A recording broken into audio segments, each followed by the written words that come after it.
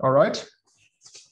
Um, welcome, Professor Vandersypen.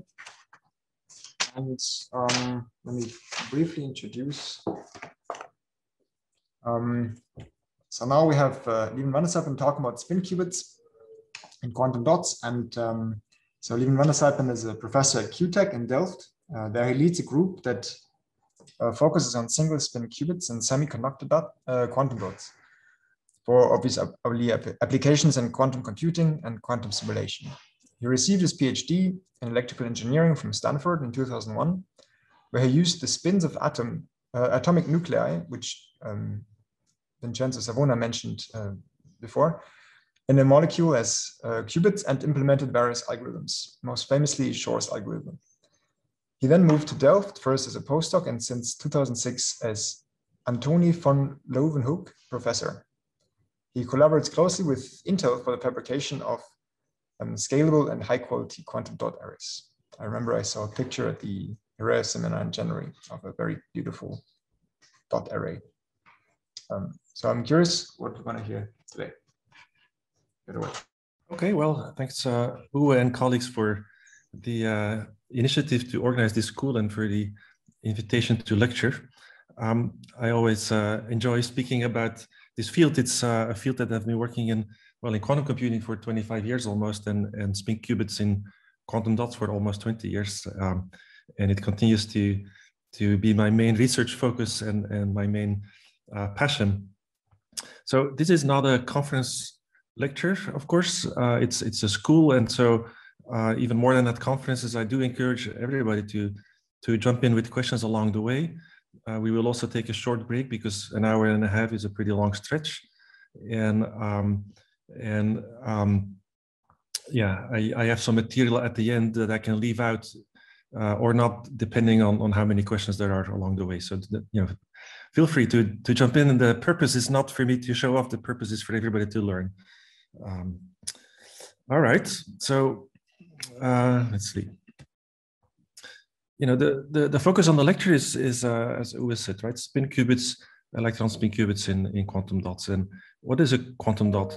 Um, essentially, a quantum dot is simply a small space in a semiconductor where one or more electrons are actually holes, but I'll mostly use the term electrons.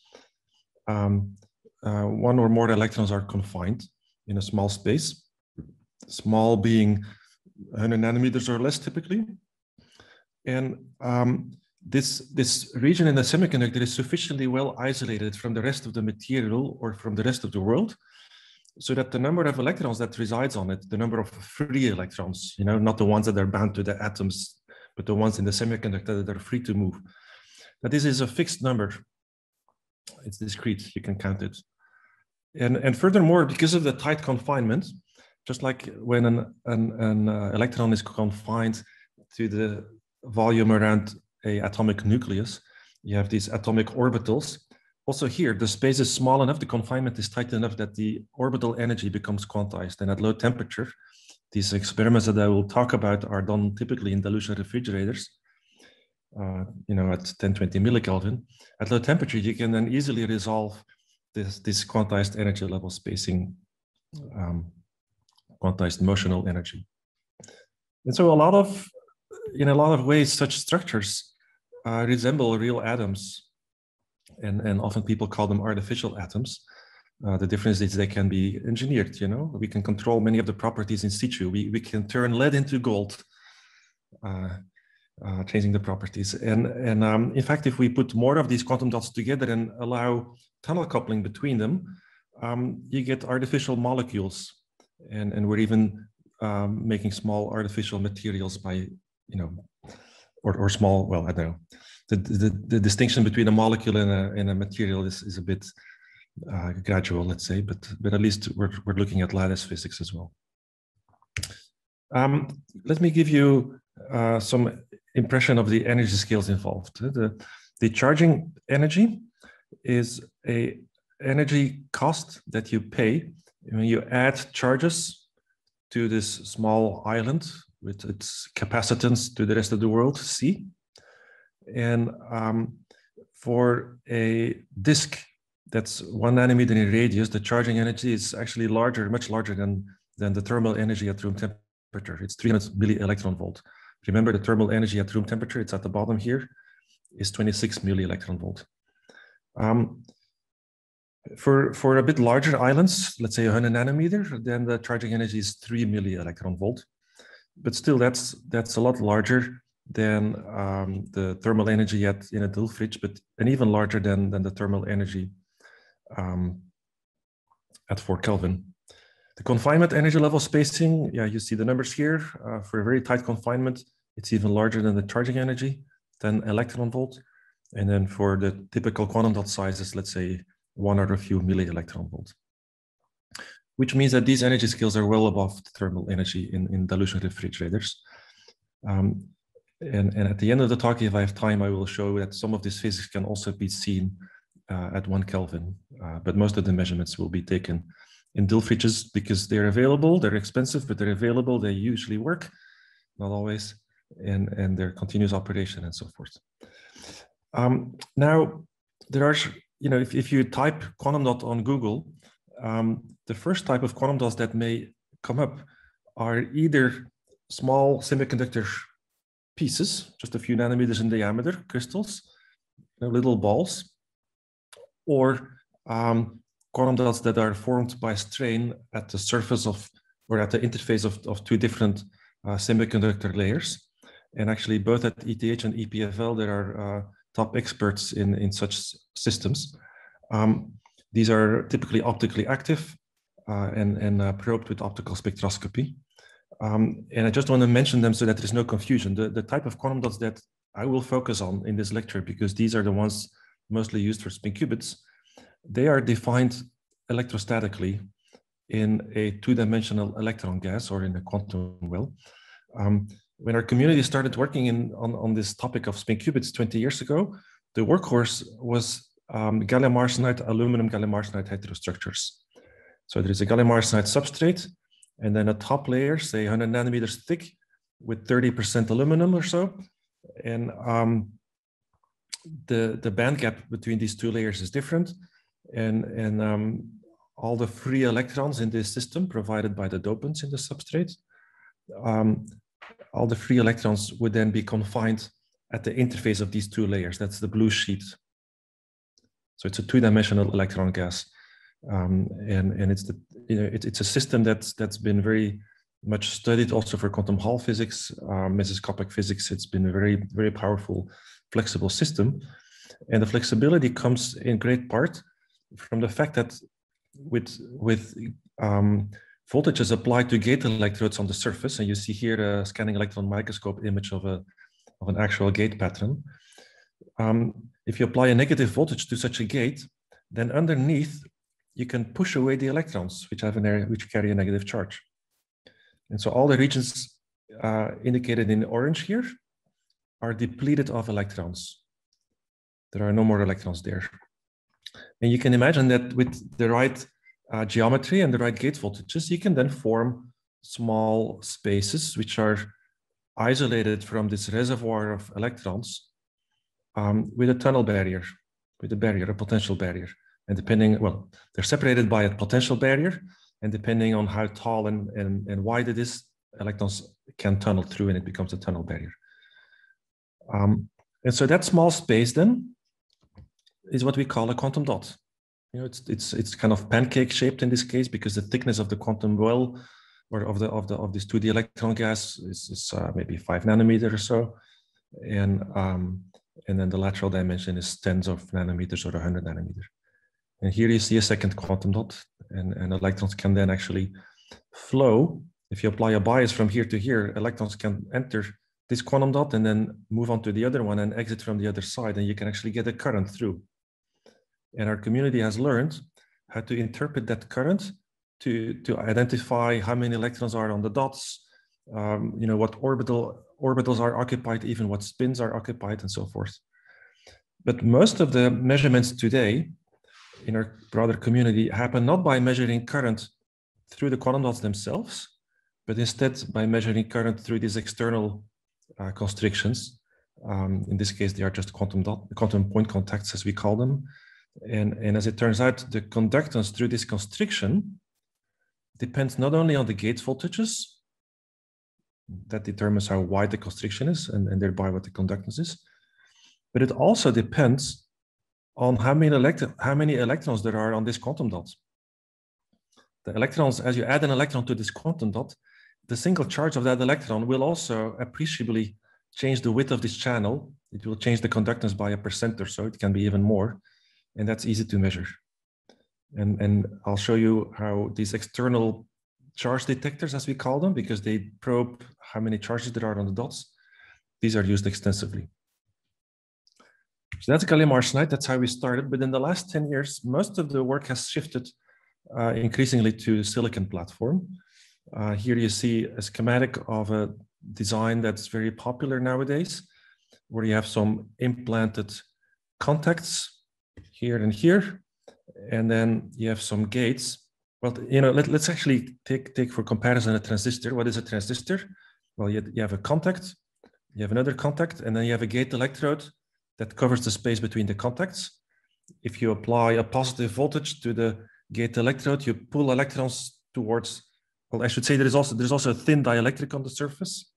And then you pull the electrons towards the dielectric. And then, you know, the, the electrons can flow from one contact through that channel to the other contact. That's how a transistor work, works. It's a switch. So in the quantum dots, that gate electrode is replaced by a split gate as we call it, so several segments. And then if you look at the potential landscape along that red dashed line, we can shape it, for instance, as in the bottom left image, where some voltages have a more positive bias, some, some gates have a more positive voltage than others, and you can really shape the potential landscape. So here there is lots of electrons in the reservoir, then there is a potential barrier, and then there is a potential minimum where one or more electrons can be trapped, another barrier, and so forth. And so here you see an actual SEM image of you know showing a similar set of gates.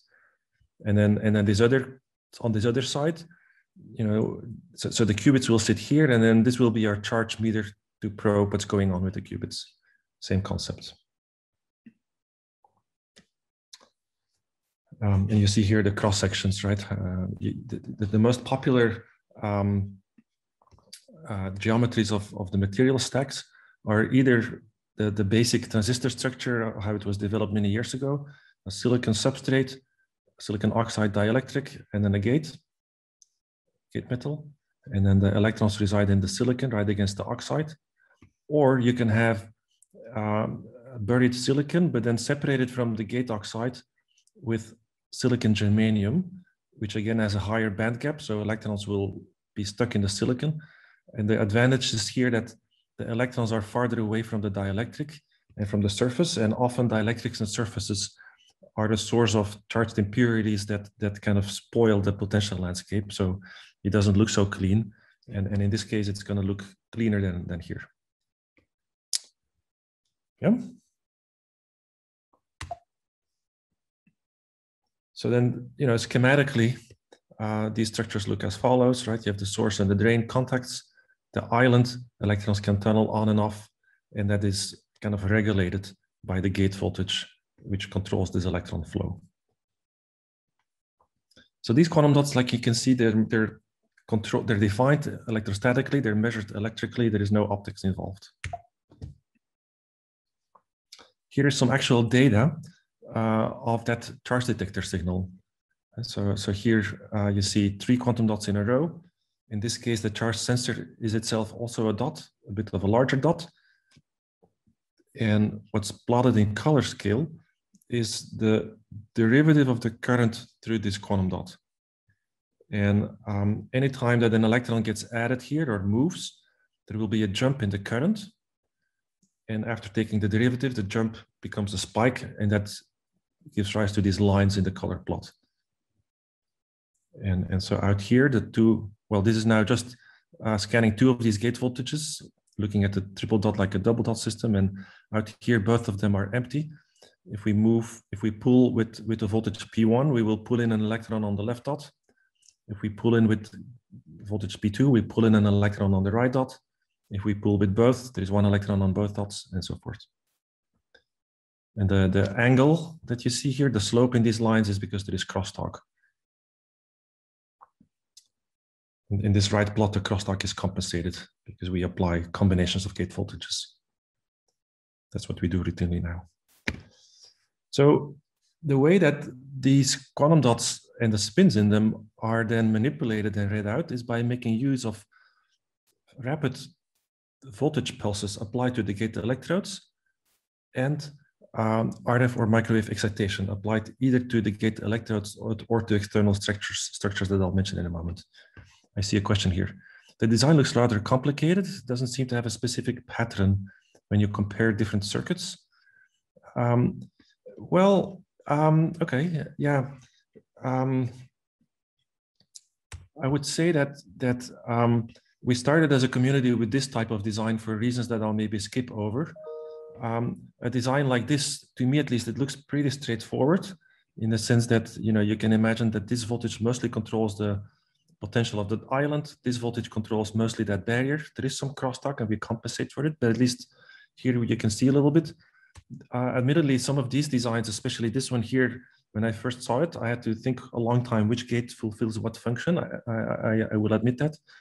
Um, um, now, um, I think I'll, I'll, I'll say that as a community, we have moved towards actually more transparent designs, kind of of this fashion, where the functions are, you know, the functions of the gates are easy to, to read and, and that has helped us to do it more quickly. Um, uh, this being said, we have also gotten better at compensating for crosstalk and don't worry about crosstalk as much anymore. Um, yeah. And then other aspects, you know, how do we look if a design is good or bad? Uh, obviously, the dimensions play a role. Um, and, and, and based on experience, we know what's going to work and what, what doesn't work so well. Um, let's see, I get the note. Okay. Yeah. Why is the charge measuring quantum dot placed not with an offset and not directly on the opposite, opposite side? Um, yeah, if we look, for instance, at, at this image here, um, it's um, placed such that you can also detect charges that move between quantum dots. You can imagine that if the distance uh, let's look at, at um, this design here, right? Uh, it's easy to see. If I, if I had placed the sensor in the middle, then we would have the same change in the current when an electron is added to this dot versus that dot. And then it becomes hard to distinguish them. And that's why we place them on purpose asymmetrically, so that the signal from all of the dots is signal is different and we can tell which transition which signal corresponds to what um, uh, change in the dot in the in the electron configuration. And also we place it such that we are sensitive to charges moving between dots. Uh, if we were to place this one exactly in the middle between these two dots, we wouldn't be sensitive to a charge moving from here to here. And so these, these uh, considerations decide where we place the sensors. Yeah. So excellent questions. Thanks. So what I'm going to do is essentially, in the, you know, in, in, in much of the remainder of the lecture, I'm going to take you through the DiVincenzo criteria, which I, I presume or hope you're familiar with. Uh, you know, in order to have a quantum processor, you need to be able to initialize your qubits to read them out. You need universal control. Um, they need to be coherent. And of course, you need to have a scalable register, uh, which is not explicitly part of here. I see another question. The fact that not every dot has direct access to the reservoir, is that a problem? Well, um, it, it's a complication, but we have learned to work with it. And later on, uh, and, and, so basically what we do, you know, to reach the, the middle dot, we will have electrons pass through the ones on the outside. And um, we have learned, for instance, how to tune up eight dots in a row um, without much difficulty, uh, you know, just by forming them one after the other and filling them one after the other and and so yeah i think some years ago people tried to find ways to get reservoirs close to every dot but um, that is of course a, an approach with limitations and and and i've pushed to to not having to do that and as a you know that that's basically it's not a it's not a big deal anymore. We can work uh, with without that uh, access. Yeah. Okay. So um, yeah, I will then take you through these through these uh, steps, right? Um, how do we initialize? Um, there are two popular methods. The first one is no longer so popular because it's slow, but it's easy to imagine. If your thermal energy is several times smaller than the qubit splitting, you can just wait for the system to thermalize. I'll show you in a moment that the thermalization time, the T1, the, the relaxation time can actually be really long, which is good for many things, but not for rapid initialization. Um, and, and therefore, what we do more often, for instance, is to start with a dot that's empty by pushing the level. The, well, th these are the, the spin up and the spin down uh, split states, uh, electrochemical potentials, as, we call them. So that's the energy, this the line here. Uh, the line here. Actually, let me perhaps, oh, sorry. Um, move to the laser pointer that's sometimes a bit more visible. Um, so this line here indicates the energy needed to add the first electron of the dot if it's a spin up electron, and that is the same energy when it's a spin down electron. In this case, both are above the Fermi level in the reservoir, so the dot will be emptied. If we then pull the levels down with a gate voltage pulse to this configuration, the dot will be filled, but necessarily only the lowest spin state can be filled. So that's a way to initialize. And that, that you know that can be done on a time scale controlled by this tunnel rate here. And that, that tunnel rate can be made very fast with the gate voltages. So that's how uh, we often initialize. There are other methods, but yeah, I can't you know go through every method, of course, in this lecture. Um, uh, sorry. Yeah. So then for the spin readout, let me take you an intermediate step and show charge detector signals, but now in real time. Um, here you see a time axis, and it's plotting the current through this constriction under a condition where the electron, where an electron can hop on and off the dot. You know, the alignment is basically like here, um, in the middle, the energy, the, the, the, it's equally energetically favorable for an electron to be in the reservoir or on the dot.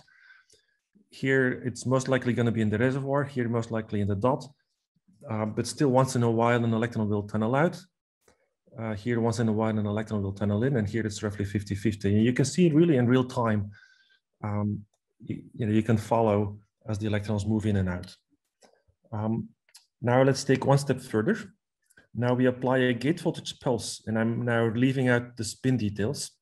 Gate voltage pulse taking us between these two positions, you know, going through this cycle. Starting from empty, we rapidly go here, an electron will tunnel in, we rapidly go there, an electron will tunnel out. If we now look at, at our charge detector signal, we will see a combination of two things. First, the current through the charge detector also responds to that different voltage on the gate. So it responds to the pulse. That's this step here. And then soon afterwards, at a random time, you know, it's, it's a Poisson process, the electron tunnels out and, and the step, you see a response to that tunnel event. And then here again, the pulse is removed. And then in this case, very shortly after, the electron tunnels in uh, or tunnels out. And, and um, so you get these two contributions to the charge detector signal. And now we're going to combine them to read out spin states. In this case, we will read out the spin state of one electron in a single shot mode. And so to test this protocol, we, uh, we do the following. The, the dot starts empty, and then we pull the levels down, but such that both spin states are accessible. So randomly, the dot will be occupied with either a spin down or a spin up electron. And next, we'll attempt to read that spin state. And we do that by going again to this intermediate configuration, where if the lower spin state is occupied, the dot will remain occupied as well. The dot will remain filled. This electron does not have enough energy to escape to the empty states in the reservoir. Whereas if it's, if it's the upper spin state, the higher energy spin state that's occupied, then that electron will tunnel out to these available states in the reservoir. And after it tunnels out, it, it leaves behind an empty quantum dot, which will be refilled with an electron of the lowest spin state, you know, the spin up state. But for a brief moment in time, here the dot will have been empty. And so there will be this step expected in the charge detector signal, whereas we expect a flat response if the electron is stuck on the dot, right? And then afterwards we empty. And so that's an experiment that we tried for the first time in 2004. This is work from, from us in Delft. Oh, I see a question here. Um, is it easy to tune this intermediate energy level between the two spin states to read out? Um, essentially, yes, nowadays. Yeah. So um, let's see, I'm gonna have to switch back to uh, to the mouse because I need to move the Q&A inside and outside my view. Um, okay, sorry if you prefer, even I can also read the questions to you when they pop up. Um, it, well, okay, let me ask, can you easily see the mouse? Yes, we, uh, we can see the mouse. Okay, then we'll just do it like that. Okay. Yeah. So, so yeah, I mean, um, it's it's it's pretty straightforward. Uh, we have systematic methods to identify that condition. Yeah, fortunately. Um, yeah, so, so here you then see the response, right? The combination of gate voltage response and tunneling. And then here is the readout segment. This Here the response is flat, so we conclude the spin state was up. Here we see a little blip, so we conclude the spin state was down. And that works most of the time, not perfectly, but most of the time. And, and uh, over time, that, that measurement fidelity has become pretty high. Um, in some cases, yeah, not particularly this measurement scheme, but some spin readout demonstrations have uh, certainly gone beyond two nines. Some have also reported three nines. It's it's very hard to be certain when you're claiming such high numbers. You, you need to consider all the errors that can happen, but but these spin readout can be pretty pretty reliable these days. So how did we test back in 2004 that our readout was working? We would we would increment the time between the moment the electron was injected and the time we started the measurement. And naturally, the longer you wait, the more time you give the electron to relax to the ground state. And the lower the spin down fraction should be. And that's what we saw. We saw this exponential decay, and that, that gave us confidence that our spin readout was returning something sensible. Because at the time we weren't able to, to, to rotate the spin yet. Um, so, so here you already saw the, the long relaxation time, in this case, a millisecond. Um, compared to orbital relaxation timescales, this is much longer. Orbital relaxes in tens of nanoseconds. Um, and and um, actually now it, or, or afterwards, um, there have been measurements uh, seeing T1s well over a second. In some cases, in exceptional cases, even uh, about 10 seconds uh, T1s. So that's extremely long relaxation timescales. Um, of course, any timescale needs to be compared to the other relevant timescales, which we will come to in a moment, uh, manipulation, but these are all much faster than the relaxation. The, the, the dominant relaxation mechanism is the following. Um, the, um, the energy is transferred to the phonon bath, the lattice vibrations, and the phonons couple to the spin through the spin orbit coupling. Um, and and uh, you know, it's basically the electric field fluctuations from the phonons that, that interact with the spin through the spin orbit coupling. And this indirect coupling of electric fields to spin via spin orbit coupling will also come back into control in a moment. And we know it's phonons and the spin orbit mechanism from the very steep dependence of the relaxation time on the magnetic field. Look at this, a fifth power dependence. So going to low field very rapidly, the T1 just goes through the roof. So here then are the first data. This is also from our group in 2006. First data showing coherent control of a single electron spin on such a quantum dot. And the coherent control was achieved using magnetic resonance. That is to say, you have an oscillating magnetic field on resonance with the spin transition energy. And, and you know, the longer you apply that resonant magnetic field, the more, the more times you rotate the spin around the Bloch sphere. And then Um, I, will skip through the details of this particular axis here, but it is effectively a measure of the spin probability. And these curves are offset from each other. And, and you see that that spin probability oscillates roughly sinusoidally as a function of the time that we apply the burst time. Uh, and, and so that's indicating that we're taking our spin here through Rabi oscillations. Um, the oscillating magnetic field was produced by sending an oscillating current through this very short uh, um, piece of wire, piece of metal that, that you can see it's sitting on top of the quantum dot gates. And that oscillating current, of course, produces an oscillating magnetic field at the dot location through Ampere's law. And, and um, let me actually just remind you, right? If you have a current through a wire, you get an oscillating field, sorry, you get a magnetic field around it. Um, if the current oscillates, the magnetic field oscillates. Now, this oscillating magnetic field, if we look from the top in the Bloch sphere, it will go back and forth like this. And we can decompose it into one component that rotates clockwise and the other that rotates anti-clockwise.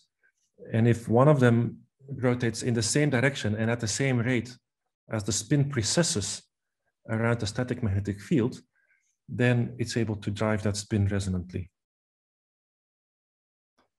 Um, actually, let me attempt. Uh, it's a bit hard now online, but I I always like to do this little spin dance, and I will perform my spin dance for you uh, to explain intuitively um, this, you know, the motion of the spin, right? So um, let's see here. Um, so we have a, a vertical magnetic field a static magnetic field, and our spin, that's the vertical magnetic field, our spin will precess around the magnetic field, the static magnetic field. That's what a spin does. You know, in the Hamiltonian picture, it's a sigma z evolution. Now imagine that you now apply a transverse magnetic field. So in, perpendicular to the external field transverse magnetic field, and that rotates around at the same rate as the spin.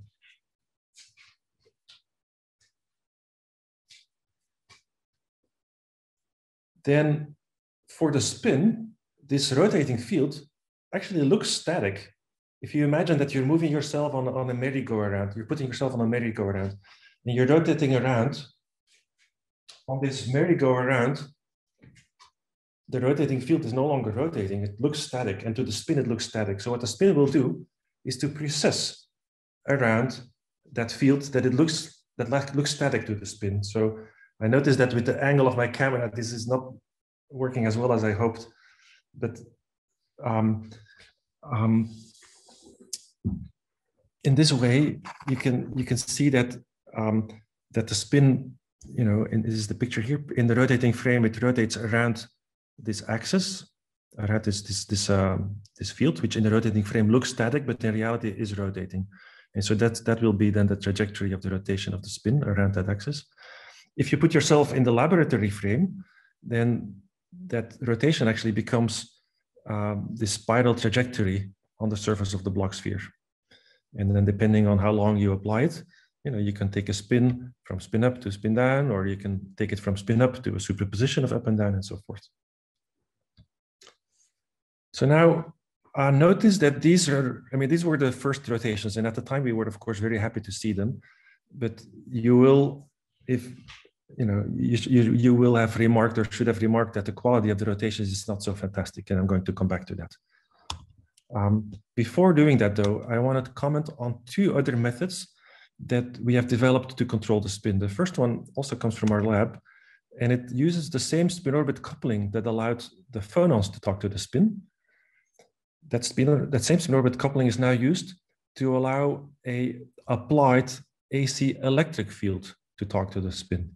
So we apply to one of our gate voltages. We, in addition to the DC voltage used to bias the dots, we apply an AC excitation to it, and that will wiggle the electrons around inside the dot confining potential.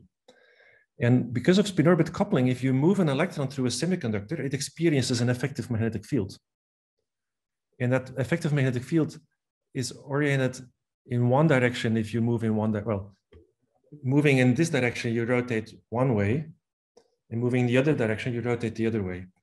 Or in other words, the, the magnetic field orientation that is the effective magnetic field that the spin experiences oscillates as its direction of motion, its oscillation is oscillating. And now the spin experiences does an effective magnetic field that's oscillating. If you apply that oscillation at the right frequency, you get a magnetic resonance condition effectively. And we can again get Rabi oscillations. It's quite remarkable that the Rabi oscillations were about as fast, almost as fast, as with this direct magnetic driving.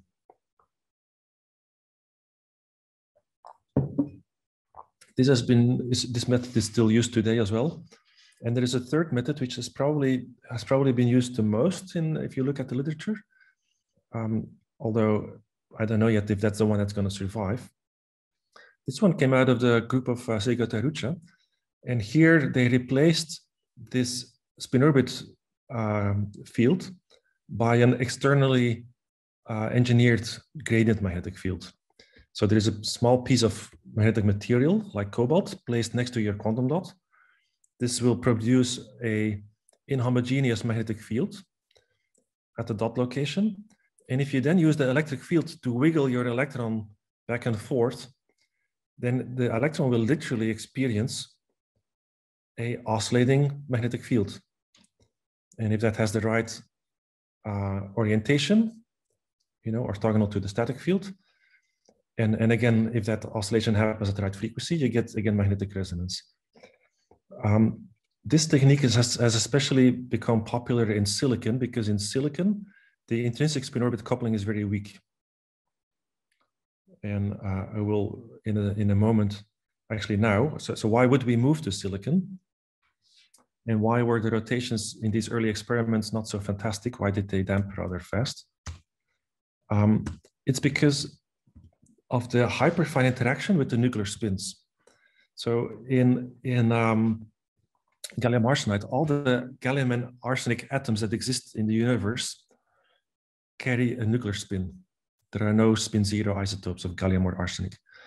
And, and these nuclear spins interact with the electron spin or, or let me put it this way, if, if the electron wave, the electron spin will interact with the nuclear spins that the electron wave function overlaps with. It has a certain spatial extent. And wherever the electron resides, there will be a hyperfine interaction with the nuclear spins in the lattice, from the lattice. Does that make sense?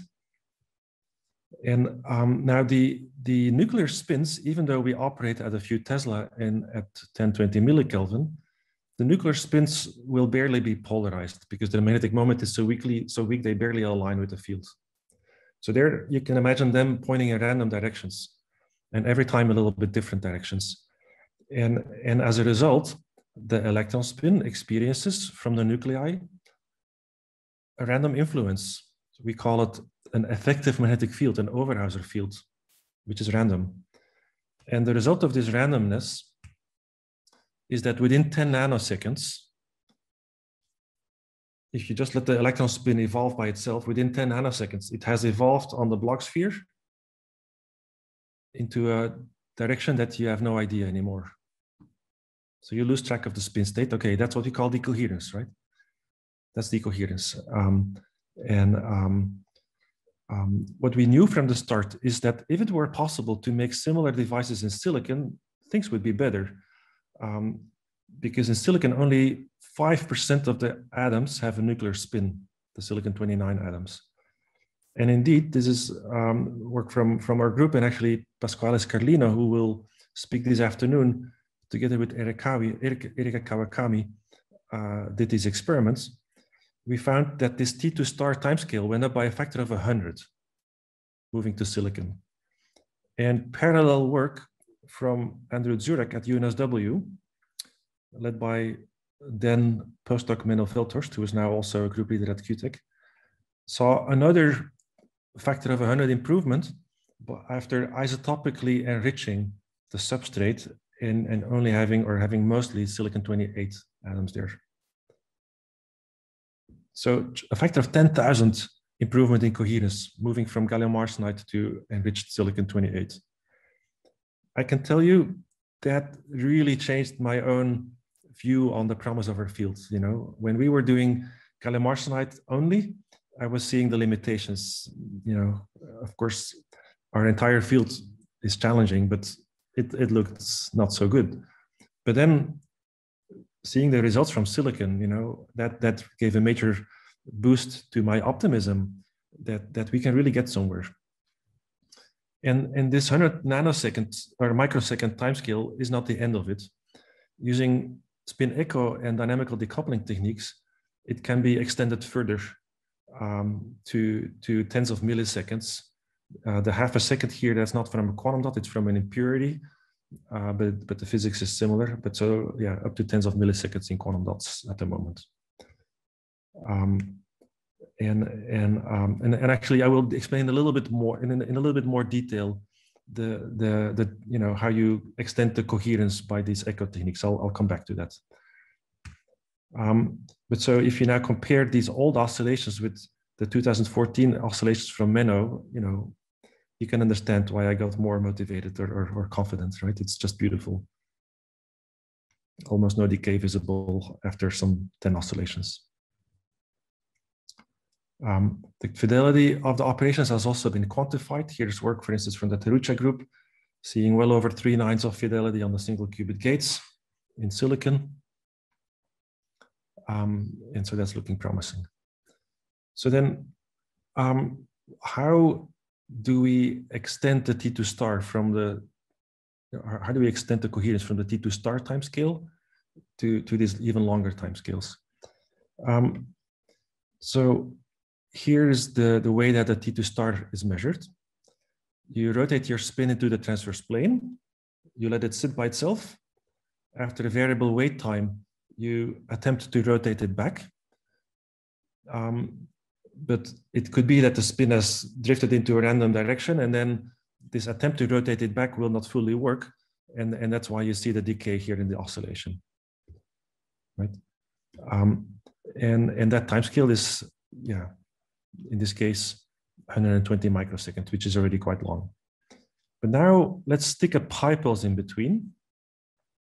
Then the evolution, the random evolution that happens during the first interval can be reversed during the second interval. And I have a little animation to illustrate this. So here's the um, first 90 degree rotation, taking the spin at the transverse plane. And then because of the interaction with the environment, the spin will pick up a random phase that happens on the 100 microsecond time scale. Now, at some point, we apply, oh, then we apply a 180 degree rotation that's what's going to happen here, right? All right. The 180 degree rotation. And the spins that were running behind are now running ahead, and the spins that were running ahead are now running behind. And if you allow them to evolve oh, for the same amount of time after that echo pulse, then they all come back together. That's called a spin echo effect. So look here, look at the ones running in front and, and, uh, and behind, and eventually they all come back together. So that's a spin echo. And, and uh, here there is a single echo, but you can imagine that, that this echo is only effective when the random influence from the environment during the first and second waiting interval is the same. Um, in reality, it's never perfectly the same. You know, the environment also evolves. And then to extend the coherence further, what you can do is to um, stick more of these pi pulses in your waiting interval uh, so that the time between them is shorter and the environment will have evolved less and the, the refocusing from the echo effect is better. And in this way, you know, you go from a, from a 1.2 milliseconds single pulse uh, experiment, that's called the Hahn echo experiment. You can go in this case to 28 milliseconds. Here you see data where the number of pulses is increased and, and um, um, yeah, this is now on a semi log scale and, and just the coherence gets extended as you add more and more of these decoupling pulses. So um, I think this is a good moment to take a short break. Let's just take a few minutes um, you know, enough to, to take a breath, uh, and, and I will continue in a few minutes. All right. Yeah, thank you. Um, are we allowed to ask you more questions, or yeah, yeah, of course, yes. Gonna get a glass of water and uh, stretch your legs. Well, I'm I am gonna well both. Okay. Yeah. So um, yeah. Um, well, let's first take some questions if there are questions. Yeah. I actually I had one um. Um, you mentioned the the uh, dephasing due to the coupling of the charge um, degree of freedom via this static magnetic field um, with, a with a piece of cobalt.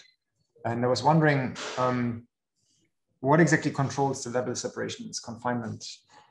When there's a bunch of probably effects because it's a very like densely packed system. Um, so I assume it's like a, a, a, collection of different effects, but all of these like you would probably have to think about when thinking about the dephasing, right? Well, um, let's see. So I, I didn't emphasize this very much uh, that that the gradient well, what I emphasized is that the gradient from the micromagnet can be used to drive spin rotations. Um, and in particular, it's when the, we call it the transverse component of the gradient is present. The transverse meaning the, the electric or the magnetic field component that's orthogonal to the large externally applied field. If that is inhomogeneous over the dot trajectory, then, then you get an oscillation in the in the field it experiences. In addition, also the longitudinal component of the of the micromagnet gradient can be present, and so if you then so so that adds to the external field, and and um, now what I didn't mention, but I'll mention it here. If you have charge noise, that you know wiggles your electron position in an uncontrolled way, um, then depending on the electron position, the spin splitting will be slightly different. And that leads to phase randomization and to dephasing. And so the presence of this longitudinal gradient makes the spin sensitive, vulnerable to dephasing from charge noise. Um, now, what we have done in our experiments, uh, especially in the later experiments, is to design our micromagnets such that the longitudinal gradient is small um, and the transverse gradient is large. We don't want the longitudinal gradient to be zero because what it also does is to shift the resonance frequencies of adjacent quantum or adjacent or, or of spins in adjacent quantum dots. It separates these resonance frequencies from each other. Um, but, but we make it not too large so that we're not too vulnerable to decoherence. And um, extending this scheme into larger systems, larger arrays, we'll need more thought how to engineer that gradient properly to, to make everything match. And of course, there are limitations from Maxwell's law to, laws to what's feasible there. Yeah. I see.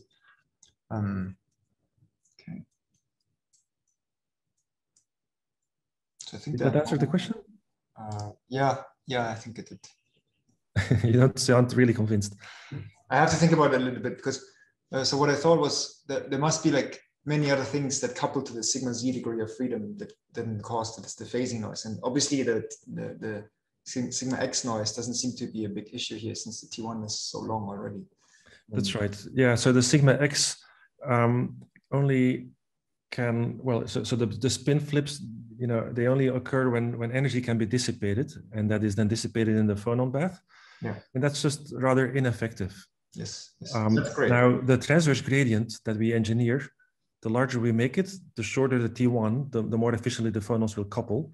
But the fact is, we have a lot of margin on T1, so that's yeah. okay. Yeah. Maybe that was the question that you were asking. My question was like, what else couples to the sigma z? Like, uh, what else? Uh, the, the dominant mechanisms are charge noise coupling in via the, the longitudinal gradient, one, and two, um, um, uh, hyperfine noise, although uh, or nuclear spin noise, although in the isotopically enriched samples that becomes very, very small at some point. Yeah. So yeah. But if you have no engineered gradient, then the hyperfine noise can be also uh, limiting. And then there are other effects, you know, the uh, just from intrinsic spin orbit coupling, the spin splitting can be slightly dependent on the electron position. Mm-hmm. And then you also become sensitive to charge noise. Yeah. Uh, these elements or these these aspects come into play once you're starting about talk, talking about really long or, or, really small effects, hence really long decay times. Um, but eventually they also come in. And heating um, from all the DC voltages or? Um... The DC voltages don't cause heating, um, but the, the pulses in the microwave drives do cause heating. Um, they will eventually accelerate the T1 from, you know, a T1 process is essentially spontaneous emission of phonons. Yeah. And then now it becomes also uh, not only spontaneous, but also stimulated emission. Um, and, and, and, the T1 times do drop with raising temperatures. Um, T1 or, or, thermal effects or heating can also activate charge noise or not. It depends on, on whether the charge noise happens by tunneling, which is temperature independent, or by thermal activation. Um, but, but yes, in general, we do see that as we warm the samples up, that, that the devices get more noisy through these mechanisms. Expected, I guess. Yeah. Yeah, yeah, yeah, yeah. Well, except for tunneling, that's not yeah, yeah. temperature dependent. And also hyperfine noise is not temperature dependent, but charge noise, yeah, in practice, it can be thermally activated. Yeah. Okay, cool. Thank you. Um, More questions? It's, maybe it's glass of water time. All right. So um, yeah, let's take three minutes or so not very long. Okay, in a moment, see you in a moment. All right. Uh, I see another question. Okay, yeah, what are the advantages or disadvantages? I will actually, that's, that's a great question and maybe I should have started uh, giving some perspective at the start. Um, but um, I will come back to that uh, in a little bit. Well, actually, let me, already emphasize one thing. So seem to have a similar strong interaction with the environment like superconducting qubits? Well, not really, right? Uh, superconducting qubits, at least, um, I think the, especially the ones that are uh, fabricated, you know, on a substrate, not not uh, the 3D cavities. T1s are hard to go beyond 100 microseconds. Um, the T1s of spin qubits are easily a second, and and so that's uh, you know much much longer. And also the t2s um, the t2 star is comparable to the to the decay time scales of superconducting qubits perhaps. But it can be extended much more using dynamical decoupling than is the case for for superconducting qubits. So i i think it's fair to say that the coherence of the spin qubits is is really better than uh, of superconducting qubits at least today um, and um, uh, that's that's really an advantage. Um, there are other advantages which are going to become clear as we carry on. And then I see another question. You have to perform the spin echo technique to keep the two as long as possible. Uh, that's true. And um, it means that you need to, to apply uh, lots of pulses. Um, and um, based on experience, you know, from the, from the time that I um, worked on NMR quantum computing for my PhD, that's something that that in the end you just learn to deal with. Um, it becomes part of your um, thinking to just add those decoupling pulses. And the, the thing about it, it's very transparent how to do it. Um, and, and it's very easy, therefore, to compile into your circuits. Um, so that's not typically seen as, a, as an actual obstacle. Um, okay, so where are we now, right? So we've spoken about initialization, spin readout, and single qubit operations. What is going to come now is a different way for reading out because it's also used a lot. Um, to, and then um, two qubit gates and the physics of these two are very related of that readout and of the two qubit gate. Um, and then I will um, end with some scaling uh, perspectives, uh, talking more about the advantages of, of the platform, the, the, yeah, the strengths of the platform. Okay, so we've seen one great way to read out spins here is a second method. It's also very popular. It uses the fact that um, quantum mechanics does not allow two fermions to occupy the exact same state.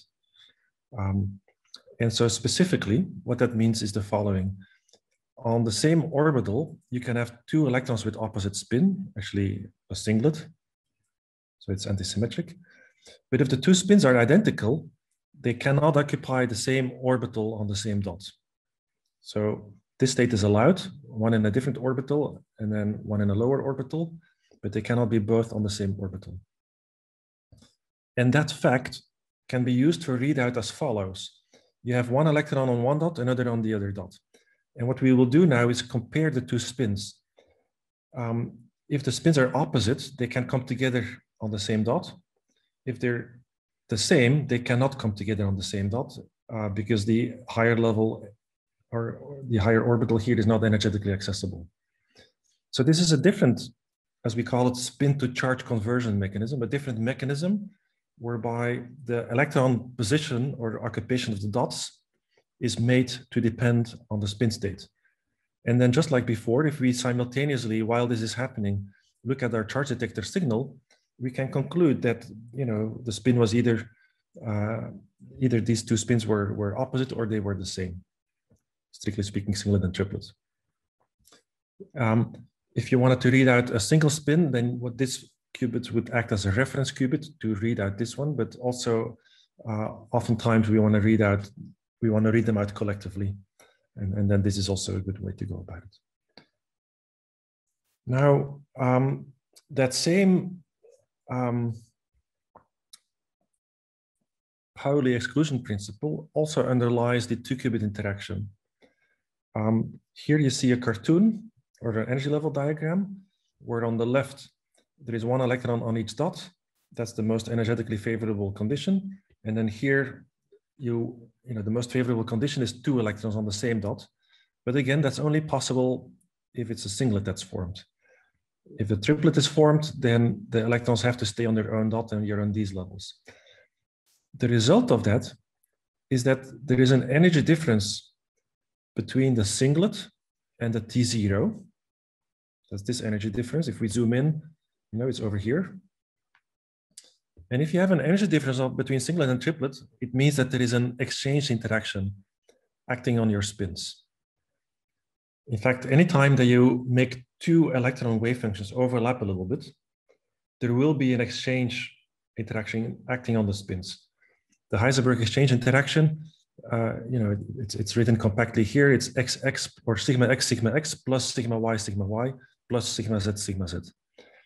And um, what we then do in the lab is to briefly allow the electrons to overlap and interact and, and have their spins interact, separate them again, uh, and in this way control the time evolution under the exchange.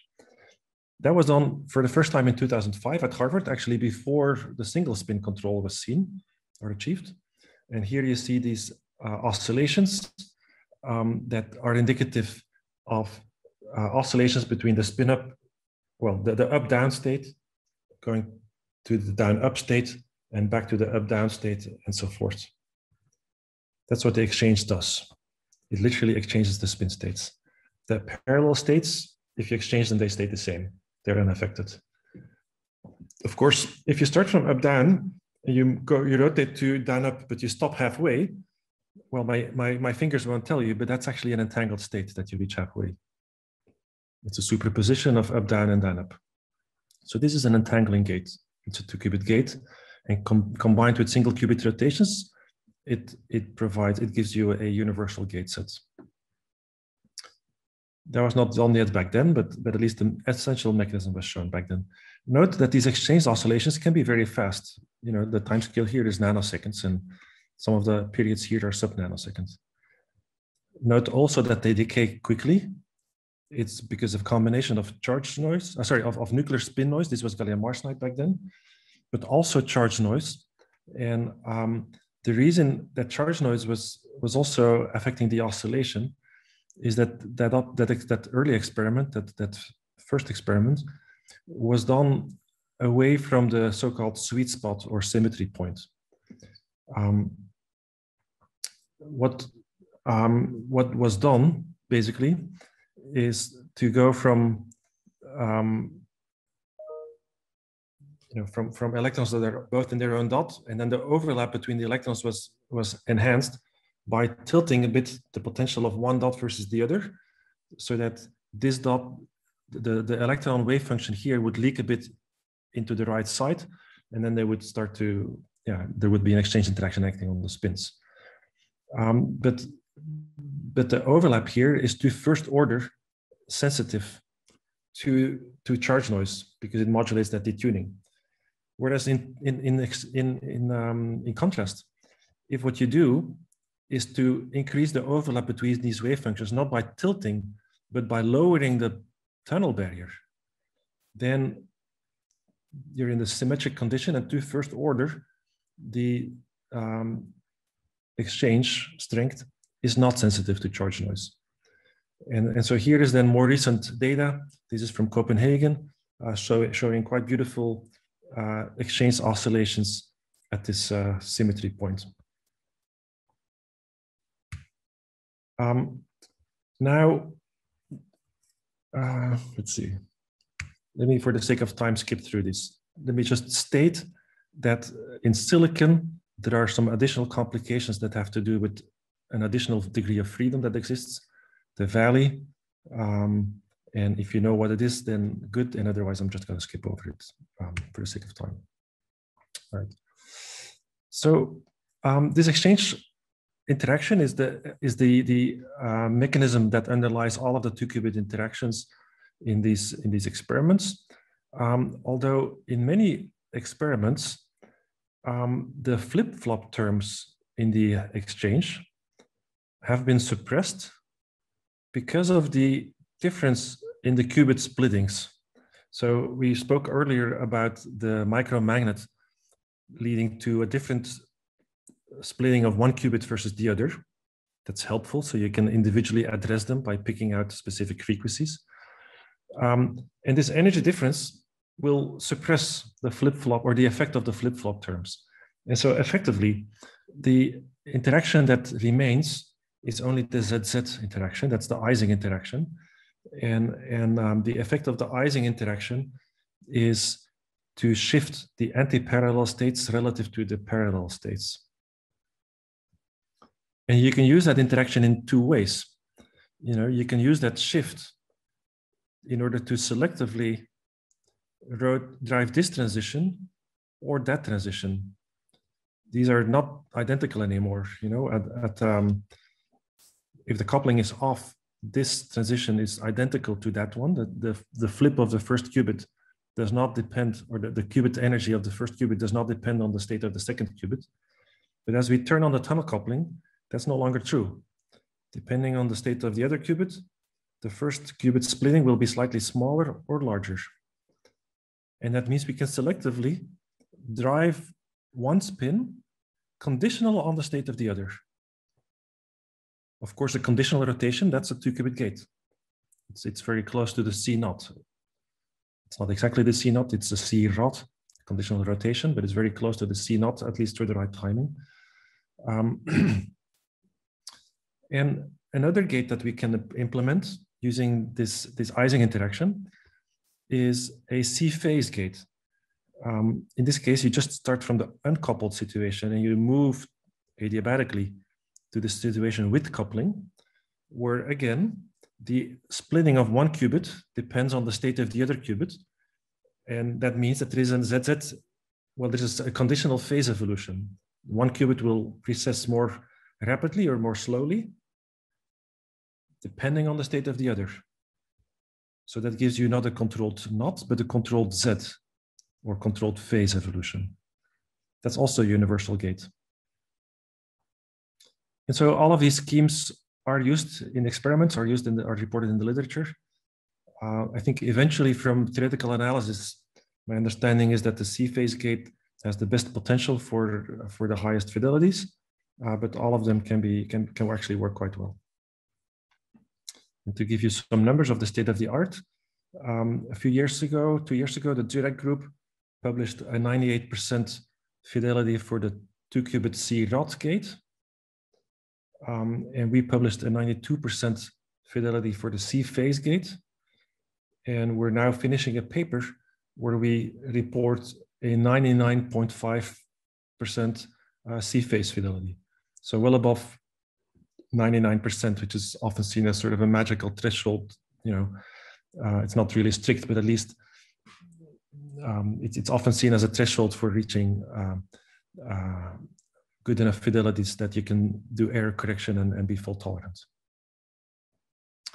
Which means that both the single and the two qubit gate rotations, or two, two qubit gates, sorry, are, are now uh, well above this 99% threshold, and that's a good place to be in, and, and there is room for further improvement.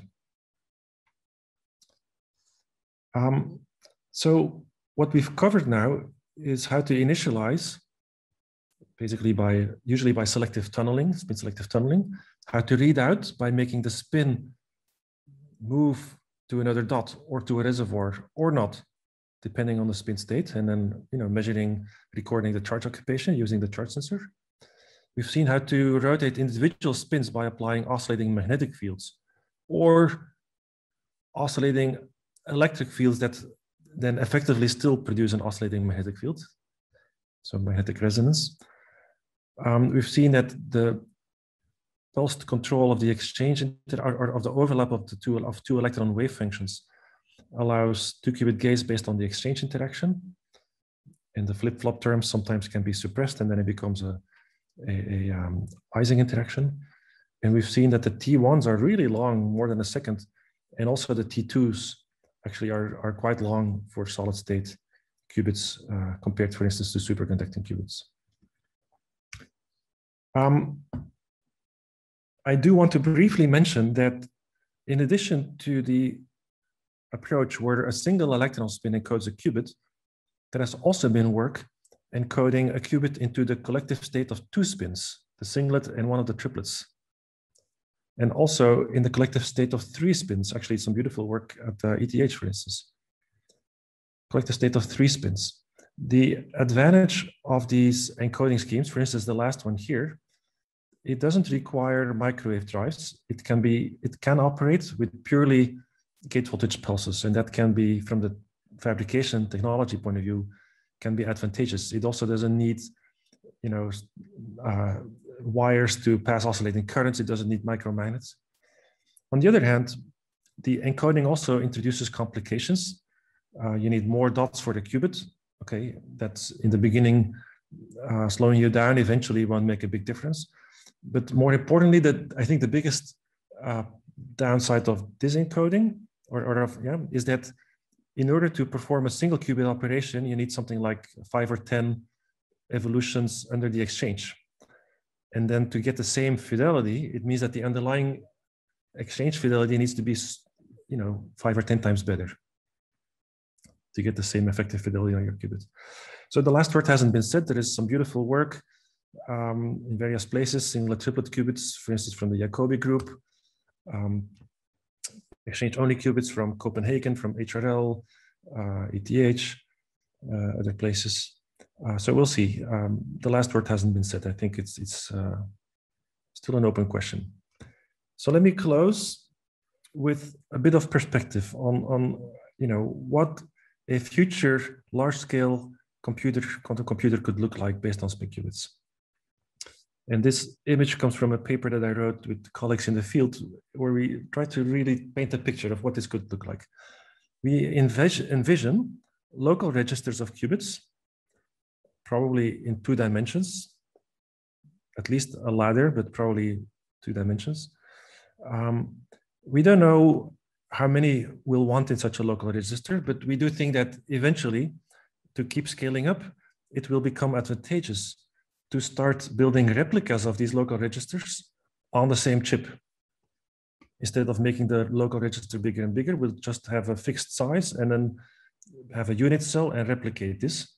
And that means that we need, of course, to connect these unit cells with each other through quantum links, coherent links on the same chip.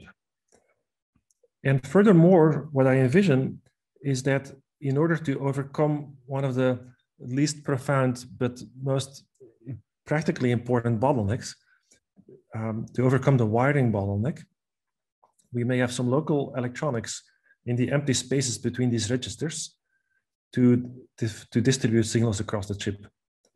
The wiring bottleneck is the following. in, in the qubit experiments today, there is at least one wire going to every qubit. And that's fine for now. But if you want to integrate a million qubits on your chip, you would need to bring a million wires from the outside to the chip, and there is no technical solution for that. So, so um, therefore, having a limited number of wires and then having some multiplexers or etc. to distribute signals seems, seems um, like a way forward. Of course, these electronics will dissipate energy, and then you need to check whether your qubits can tolerate the higher temperatures. Um, so on the scaling up, there is there's been uh, some work. I already mentioned the eight dot array that we can tune up, you know, easily now. There is uh, similar work in silicon. This is gallium arsenide. This is from silicon. Uh, in silicon, a nine dot array from the Petta group. Um, then there's also been first work on two-dimensional arrays, mostly in gallium arsenide. Uh, this is a picture from us. Uh, and then this three by three array is from Tristan Meunier in Grenoble, um, where they could control, you know, the position of the electrons in this three by three array. And so the qubit experiments on these larger arrays are, are happening. Um, most of the published work is, oh, I, oh, I, there was one other slide that I wanted to have, which shows um, you know, three qubit entanglement in a linear array from, from Tarucha, which shows universal four qubit control from Menno Veldhorst in a two by two array based on germanium. And then I wanted to, to show this unpublished work from our own group, where we have a linear array of six quantum dots. Uh, we have two sensing dots. And then we have, you see here the contours of the cobalt, the micromagnet gradient which separates the resonance frequencies of the six qubits, allows us to selectively drive, these are the chevron patterns, driving uh, the, the six qubits. Um, we can um, control the coupling between the neighboring qubits by playing with the tunnel barrier voltage here. And, and if we then apply pulses, we can see beautiful exchange oscillations between all of the neighbors. So this is actually I would say state of the art, you know, a six qubit device is really fully under control. Um, I see a question. Um, yeah, so the, the integrated electronics, I'll, I'll come back to that. Yeah, good question. Um, and and um, already we have um, we have oh, we have played or programmed some small uh, protocols, you know, creating multi-qubit entanglement and so forth, and we're in the process of of continuing and quantifying that. So we're moving along here.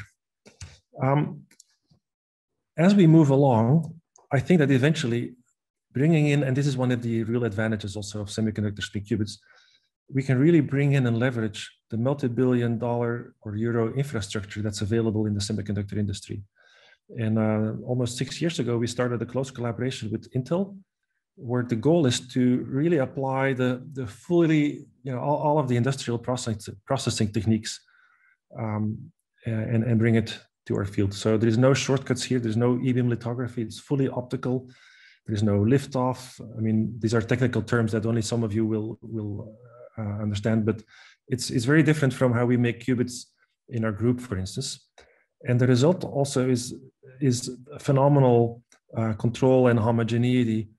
Uh, you know, just look at the gate pattern here uh, looking looking at this at the cross section and compare it to a typical gate pattern that we fabricate in our clean room. And it's we have a good clean room. That's not the problem, but it's just a different different approach, different technology. And and so what we then, as a first test, did was to see whether one of those qubits that's fabricated with these methods uh, still is well behaved. You know, because one thing is to to have these industrial methods, but are they compatible with with in the end getting a qubit that functions and and in fact, all of the all of the metrics that we uh, determined or that we that we extracted, I think are really in the ballpark of, of what um, what people report. So, so in other words, industrial qubits, fully industrial, you know, made by advanced manufacturing, semiconductor manufacturing, uh, actually exists. Um, I already see a, a, question for the end of the lecture, but I can't take it here. So I mentioned it in passing, the, the four qubit work um, in, in germanium from Menno's group. And um, I, I, think it's really impressive to see how fast this new material platform has moved along. Um, with, at this point in the lecture, we can uh, give some context to what was done there, right? So the method for controlling was to use the intrinsic spin orbit coupling um, to, to uh, control the spins. The um, uh, two qubit gates were, were again driven by exchange and the readout was uh, done by Pauli blockade. The readout was not so, not so high fidelity, uh, but the control was actually quite, quite good. And uh, what's especially remarkable is, is how fast that system has moved from the growing a material just a few years ago to, to um, you know, state-of-the-art measurements with universal control over four qubits. And, and yeah, like I said, there was one slide that I meant to stick in there showing some of the recent multi-qubit work uh, or published work. Um, now, in terms of um, building uh, couplers, right? So these are the, the quantum links basically between the registers. There are several ideas published in the literature over the last 15 years or so. Um, I think a very promising approach is to literally take an electron and displace it over the chip while preserving the spin state. And we have done some uh, work in gallium arsenide testing this. Also, the Meunier group at CNRS has done this um, and that's looking encouraging. And, and such experiments are now also beginning to be done in silicon. And, and we hope that we will get quantitative information on the fidelity of this uh, of the spin preservation during the transfer from one place on the chip to another. The advantage of this approach is that you know it's just more gate metal, um, and and it's fully compatible with the the way that we make the quantum dots in the first place. Um, there is a different approach, which we've also been working on, and actually Pasquale will give a lecture about this in the afternoon. He's he's been well, he did outstanding work in my group, but then later did really fantastic work also at ETH as a postdoc, um, using the superconducting resonators that are popular in the Transmon community to couple also spin qubits, or um, yeah, and and so I think one one important step here was the, the that the so-called strong spin photon coupling regime was reached, which means that the electron spin in the quantum dot interacted strongly enough with the microwave photon in the superconducting resonator that this interaction was stronger than the cavity decay rate and also stronger than the spin dephasing rate. And so that is called the strong spin photon coupling regime. And it's a starting point of, of future work, um, you know, looking at, at coherence. And um, uh, let's see, I see a question. All right, what are the challenges? Yeah, I'll come back to that. Um, so let me show you here some uh, unpublished work uh, from our group. Um, we're writing this up as, as, we speak, where we actually were able to reach the strong spin photon coupling regime both, well, at both ends of the resonator. So there was an, a spin here, a spin there, in both cases in a double dot. We could reach strong, uh, the, the spin couple, the, the, well, the strong spin photon coupling regime. And we could also reach the regime where the two spins interacted with each other with an interaction strength larger than their dephasing rate. Um, and the interaction is mediated by virtual occupation of the resonator. So, so it's uh, the spin qubit frequencies are brought in resonance with each other, but they are away from the resonator resonance. That is to say, we're in the dispersive regime. And um, you see that here, here we maneuver one qubit splitting we, we, we change the other qubit splitting, and then uh, in this case, we change both qubit splittings together. And instead of seeing these lines cross, you actually see an avoided crossing. And um, um, yeah, you know, from the analysis, the the uh, spin splitting here is larger than the line. It's actually the what's interesting is that the upper branch of the avoided crossing is not very visible, and that's not because our measurement is is poor. It's it's actually a signature of a dark state. It's expected uh, from from the from the way that the yeah that symmetry works and that the interaction works. So that's I think a, a next step. And and um, Pasquale this afternoon will will review the the you know in more detail the, the physics of these experiments and the progress that we've made as a community. Um, there was already a question if we have this electronics integrated on chip, and that's another advantage of the silicon approach, right? You can have CMOS electronics uh, side by side with the qubits. It's the same processing. Um, then the worry is that the chip will heat up. And to what extent uh, will the qubit still work? So here is work from Menno's group, Menno Veldhorst at, at um, where they tested um, universal two qubit control beyond the Kelvin, getting quite decent fidelities for the first experiment. Uh, also, the Dzurak group tried uh, or tested single qubit control at, at uh, yeah, well, well above a Kelvin. And um, ultimately, I think that, the, that there may be some compromise operating temperature. Of course, the, the higher the temperature, the more electronics you can have, the more sophisticated it can be, uh, but the more you will sacrifice um, uh, you know, the, the time and the relaxation time, especially the relaxation time. Um, and and um, we'll have to see what, what turns out to be the best operating temperature in this multifaceted trade-off. Um, at the same time, um, already working towards this vision of bringing the electronics close to the qubits, we have here results um, this is actually a collaboration between uh, my group and then the groups of Eduardo Charbon when he was still at QuTech. He's now at EPFL or, or back fully at EPFL, and Fabio Sebastiano, Masoud Babaie in Delft, and also colleagues at Intel.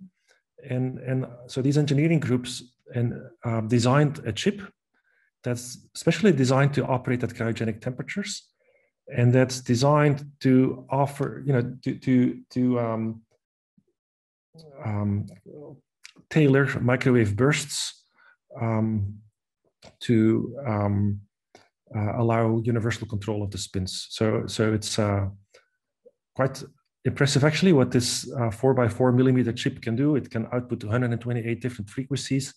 Each of them can be uh, clipped in time. There can be amplitude profiles. There can be shape, uh, uh, phase profiles.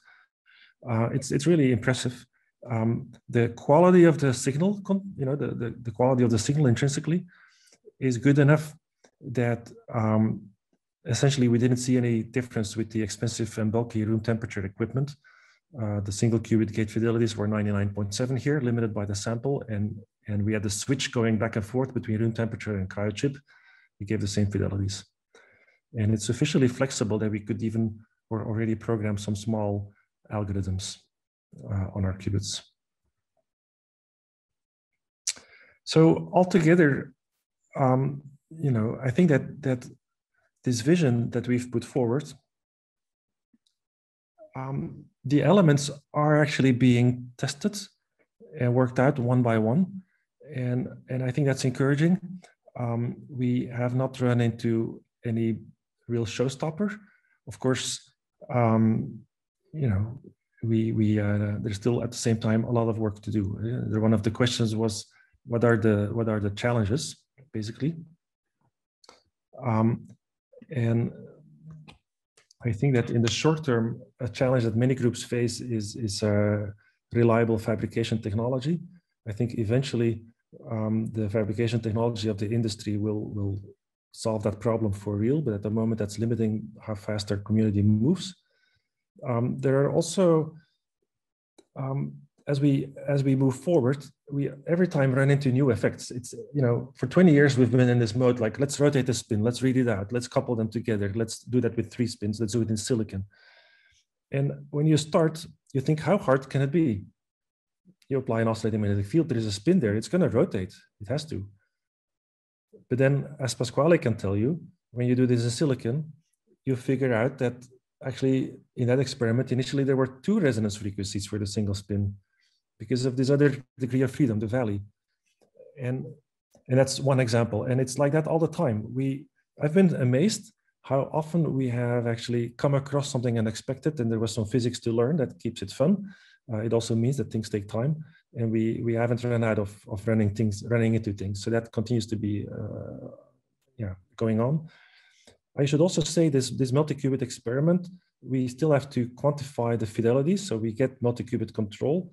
We also got fidelities of 99.5% on the two-qubit gate, but we haven't done that together. And that's, of course, a step that we need to make.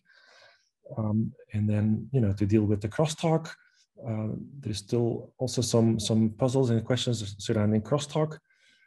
Um, and, and in the end, there are also just many practical obstacles to overcome, like with any qubit implementation. But, uh, you know, this being said, I am now more optimistic than I was before, um, than I was 10 years ago when we were doing gallium arsenide. And I also get optimistic from seeing that, that the elements for realizing this vision are coming together one after the other. And so, you know, it's hard work, it's interesting work, and uh, we'll, we'll, uh, we'll, yeah, we we continue to, to work on that um, with, with many people in our community that have contributed or are contributing. Um, then there is a question, how do you control the spin photon coupling? Yeah, I didn't explain that. Um, um, so um, it's the, the, the um, resonator that we're using in this experiment, it's a lambda over two resonator essentially. So it has a large electric field amplitude here and here. And um, the large electric field amplitude is, is made even larger. Well, okay, I'll skip those details. I'll, I'll just answer the question. Um, the, the electric field couples to the spin through the gradient, magnetic field gradient from the, from the cobalt micromagnets, like in the other experiments. And we can turn that coupling on or off as follows if we allow, if we force the electron into one of the two electron, uh, one of the two dots of this double dot system, then the confinement is so strong that the single microwave photon does not have sufficient amplitude to really appreciably move that electron around and in the, in the field gradient. And so there is effectively no coupling. If we put the electron, or if we tweak the potentials so that the electron hesitates between do I want to be left or right. In that case, you know, the single microwave photon or the electric field from it can easily displace the electron over a large distance, in principle as large as the distance between the two dots. And, and in this case, um, the, the coupling is turned on.